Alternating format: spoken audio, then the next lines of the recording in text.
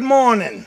My name is Tom, and if you've been following any of my videos, uh, you see that I do a lot of deer hunting and I do a lot of fishing.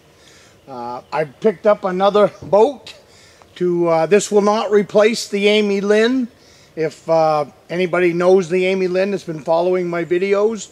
What I have, I, I, this boat cost me $150. I got it in the utility trailer right now because the trailer I'm going to put under it is up at the cabin. I'm at home base today. But 30 miles from my cabin is a lake that has some really, really big lake trout in it. Uh, the problem with the Amy Lynn for there is the boat landing is absolutely terrible. Uh, it's, it's quite a ways out in the woods, uh, and so if I get stuck out there or have any problems, uh, I'm a long ways from help. This boat is a 1966 StarCraft aluminum. I paid $150 for it. This is going to be a series video. I'm going to show you how you take a $150 14 foot aluminum boat and turn it into a lake trout fishing boat. Uh, what you see here, the windshield will go. Probably the steering wheel will go. I'm not 100% sure of that yet. I'm thinking about maybe leaving the steering wheel in uh, so my grandchildren can steer the boat. I, I operate outboards from the uh, stern. I'm a stern guy. Uh, but if I leave the wheel hooked in, I can still control the motor a little bit and have the boys uh, drive the boat. So that might be fun. So I'm still thinking about that. But I will turn this, I'm going to turn this into a lake trout fishing boat and you'll see what I mean as this goes on. It'll probably only take me a couple of days. I'll give you a grand tour of this boat uh, once I get done jabbering here. But I just wanted to let you know that I'm going to have a little project here, and I'd like to share it with uh, you if you're interested in following along.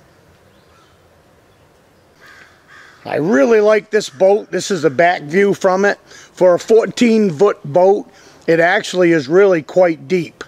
And the uh, stern is really, really well built. I have a 15 Hoss Johnson that I can put on the back of it.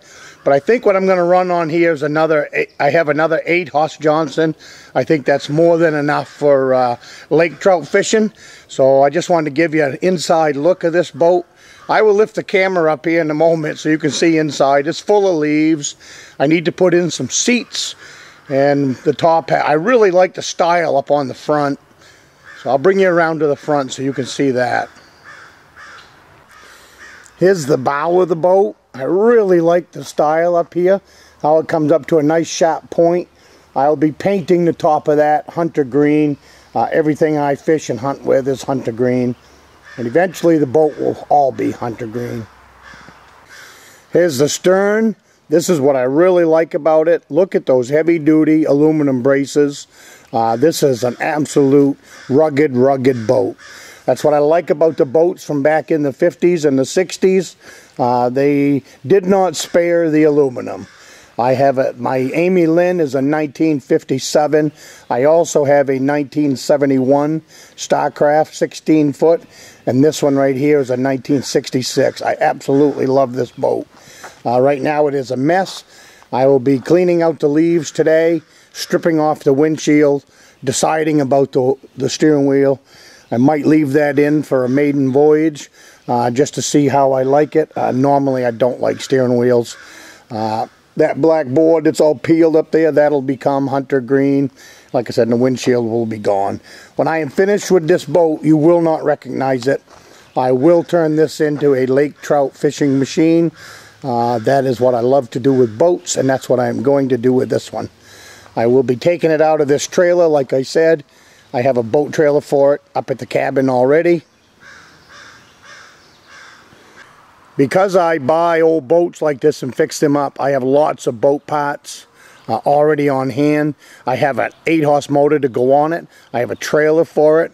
The last boat I bought came with a depth finder. Uh, I've saved that. It works. That will get mounted in this boat. The 1971 StarCraft I bought, I will be showing you that on a video.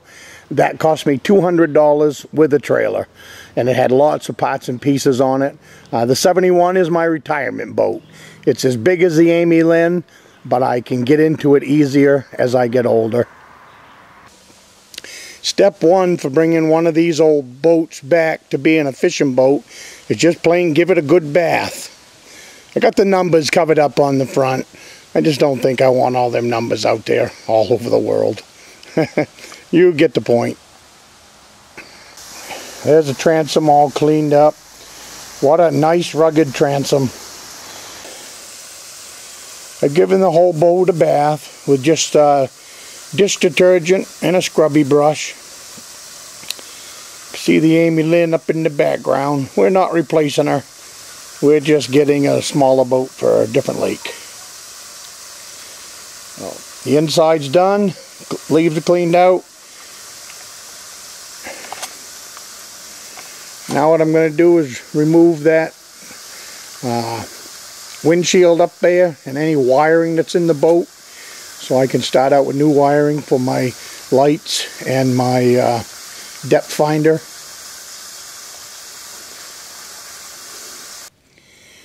Well, looking better already. She's cleaned up on the inside. Got the windshield removed.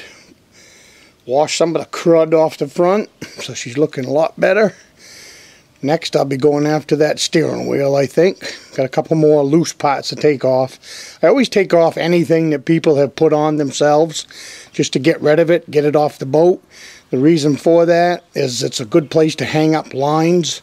And when you're playing these big lakers, you don't need anything on the boat that's going to hinder your being able to net a uh, 20 or 30 pound uh, lake trout.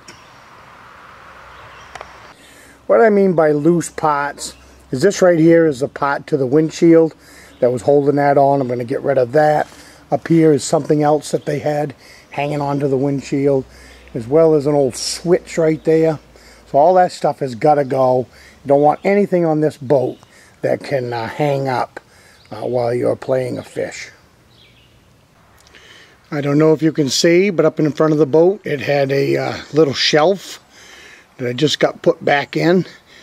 That looks like a great place to store some tackle boxes to me.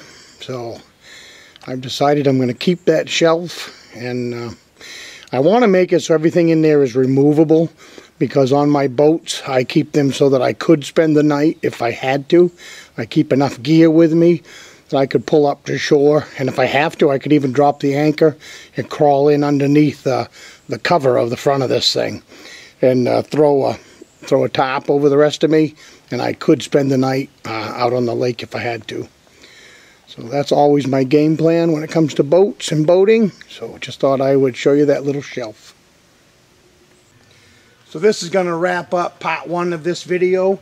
I will be, it'll probably be two or three parts to make this thing come together.